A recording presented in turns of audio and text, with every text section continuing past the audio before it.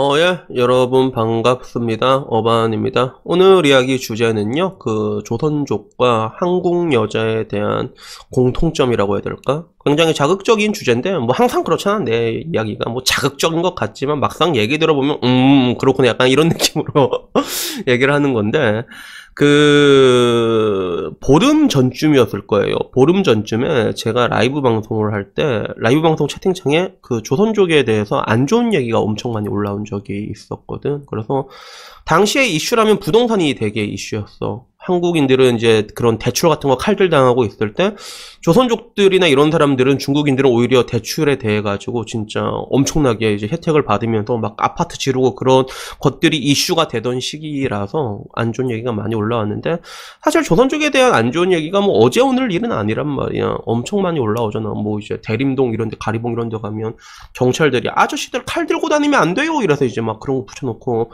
좀 이제 마치 그 나 하얼빈의 장신 이야. 이런 뭔가 좀 강할 것 같고 그리고 실제로 칼부림도 많이 일어나고 그런 것들도 있고 그걸 떠나서 뭐 인터넷에 대한 안 좋은 여론이라던가 이런 것들을 자체적으로 주작하는데 끝나지 않고 보이스피싱이라던가 아니면 로맨스 스캠도 요새 하고 있거든.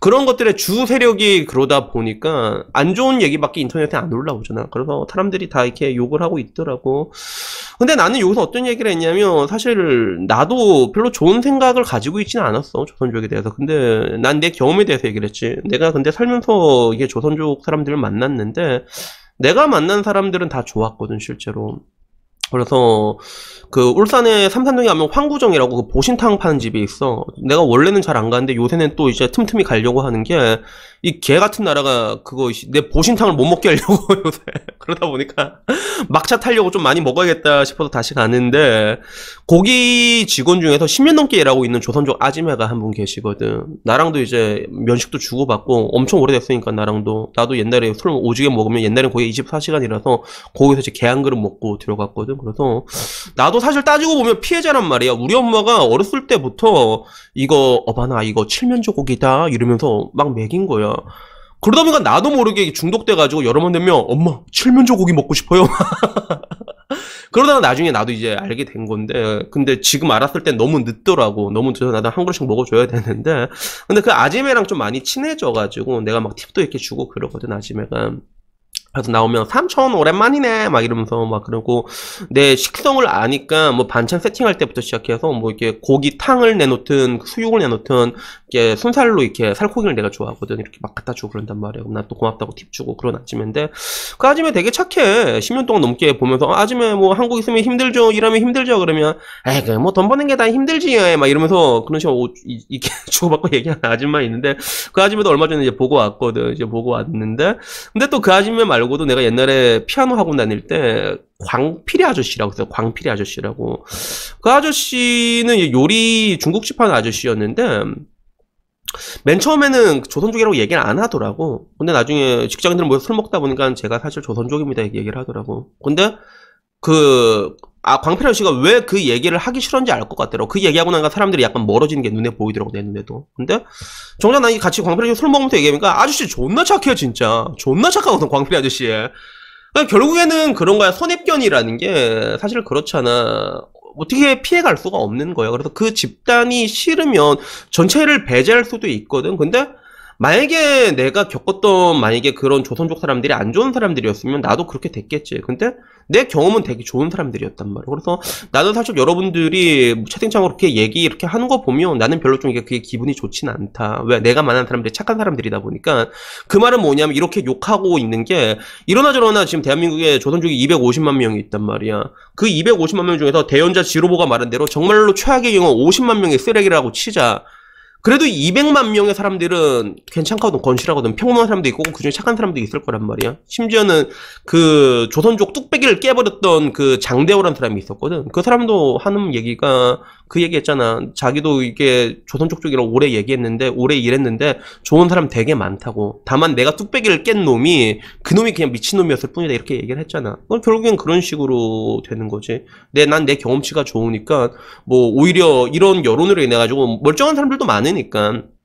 이 사람들이 욕을 먹는 게 좀 그렇게 난 마음이 편하지가 않다라고 얘기를 했어. 그러니까 그제서야 채팅창에 맞아요. 나도 우리 엄마 간병했던 조선족 아줌마 너무 좋았어 이러면서 조선족에 대한 그런 착한 경험담이 막 올라오기 시작하더라고.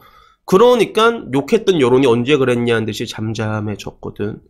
약간 이런 느낌이야. 항상 뭐든지 여론이랑 그 추세랑 저항이라는 게 다 있어. 그게 그런 것들이 있어서 그렇게 된 건데 따지고 보면 한국 여자도 마찬가지라고 생각을 해요. 저는 그게. 그래서 저는 30대에 들어와서 연애를 세 번을 했는데 많이 한 건 아니라고 생각해요. 처음 만난 사람은 3년 만났고 두 번째 만난 사람은 1년 반 조금 넘게 만났고 마지막 연애가 되게 짧게 끝났어. 100일 넘고 끝났는데 나이 차가 너무 심하다 보니까 집안 사람들이 되게 반대했거든. 막 돌아가면서 진짜 막 진짜 날, 날 중심적으로 괴롭게 했단 말이야. 근데 충분히 이해할 수 있어. 이해할 수 있고 만약에 그런 것만 아니었으면 되게 오래 만났을 것 같아. 되게 편하고 좋았거든. 그런 것들이 있는데 근데 문제는 내가 이 세 명 만난 사람 다 좋았던 이유는 뭐냐면 그 전에 내가 걸러낸 사람들이 엄청 많았어. 이 세 명을 만나기까지 그 전에 쳐낸 사람들이 엄청 많았단 말이야. 사람들 만나고 이런데 나는 좀 이렇게 이게 시간을 두고 만나는 편이라고 얘기했잖아요. 여러분들한테 시간 두고 만나다 보면 이상한 사람들 보인다니까. 그래서 나는 일단 정당한 이유 없이 내 카톡을 두 번 쌩까잖아. 읽고 씹어버리잖아. 그럼 나 바로 차단다, 바로 차단해버리거든. 이렇게 차단한 여자만 한 다섯 명 돼, 진짜. 한 다섯 명 되는 것 같고, 그것보다 더 많이 차단다는 게, 술 먹고 얘기하다 보면 그 여자들 고질적인 마인드 그 있잖아. 그 내놔! 이런 게 눈에 뻔히 보인단 말이야, 이런 게. 심지어는 친하지도 않은데 나한테 오빠 백 사줄 수 있어 이렇게 얘기한 애도 있었어 그러면 어떻게 할 거야 그냥 바로 너 차단 그냥 다, 다 그냥 걸러낸 거지 그래서 결국에는 그렇게 그렇게 그렇게 이렇게 추려내고 만났으니까 결국엔 다 좋은 사람을 만난 것 같아. 좋은 사람을 만났단 말이야. 그러니까 나는 지금 와서는 그, 그놈의 그 설 거지론 때문에 사람들의 분노가 이게, 그게 달았고, 이게 또 의미가 있는 게 아까 말했잖아. 옛날에 이게 그, 그놈의 그 거지론이 하루 이틀 일이 아니야. 진짜 오래전부터 있었는데, 그때는 그 뭔가 이제 약간 사람들이 공론화가 안 되고, 남자가 남자, 야, 저게 뭐냐? 이런 거 쌩깠다면, 지금 와서 이게 올라오는 거는 어떻게 보면 미혼율도 이제 50%가 넘어가고 여러 가지 이유가 있잖아. 그런 것 때문에 뭐 나름 이유가 있다고는 할 수 있지만 근데 결론적으로 내가 얘기하고 싶은 내용은 그거야. 그 옛날에 내가 유튜브에 어떤 여자가 글 쓴 거 있잖아. 어떤 여자가 글 쓴 거 얘기한 적이 있는데 자기는 계속 똥차만 만난다는 거야. 그러니까 내가 그때 뭐라고 얘기했어. 진짜 재수 없어서 거지 같은 놈들 한 번, 두 번 만날 수는 있는데 그런 놈들만 계속 만나는 거는 그 여자한테 문제가 있는 거라고 내가 얘기를 했잖아. 마찬가지야 그게. 남자도 똑같아. 남자도 똑같아. 여러분이 만난 사람들이 이상하잖아. 그를 계속 이상한 사람 만났으면 여러분한테 문제가 있는 거란 말이야.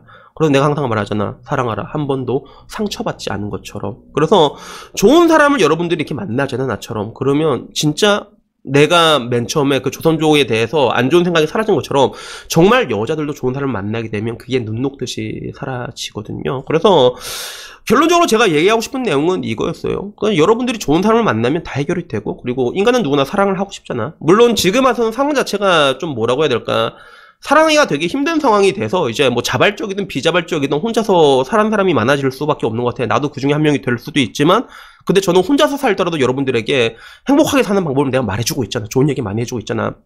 근데 결론적으로 내가 얘기하고 싶은 거는 여러분들이 혼자 살든 둘이 살든 결국에는 이제 부정적인 거는 우리들의 인생에 아무런 하등 쓸모가 없다는 거야. 그래서 생각이 행동이 되고 행동이 습관이 된단 말이야. 그러니까 여러분들에게 말하고 싶은 건 여러분들이 혼자 살든 둘이 살든 뭐 지금이 굉장히 많은 것들이 안 좋긴 한데 여기에 필요 이상으로 분노는 하지 않으셨으면 좋겠어. 왜 그런 것들은 나중에 여러분들을 삼켜버리거든. 그러니까 항상 이렇게 좋은 생각 해야 돼요. 알았죠? 좋은 생각하고 특히 이제 덧글도 조, 이, 쁜 덧글 알았지? 이쁜 덧글 이런 거 남겨서 항상 평온한 마음으로 있잖아. 평온한 마음으로 그런 게 되게 중요하니까 여러분들이 혼자든 아니든 간에 이게 굉장히 중요하니까 아무쪼록 제가 여러분들에게 말하고 싶은 것들은 그런 너무 안 좋은 부정적인 것들에 여러분들을 좀 휩쓸리진 않았으면 좋겠다. 왜?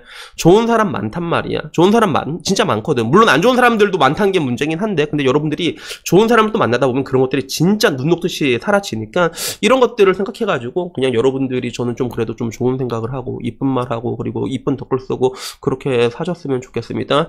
그래서 여튼간에 뭐 오늘 이야기는요 여기까지고요. 다음에는 조금 더 좋은 이야기로 찾아뵙도록 하겠습니다. 이상입니다. 감사합니다. 음.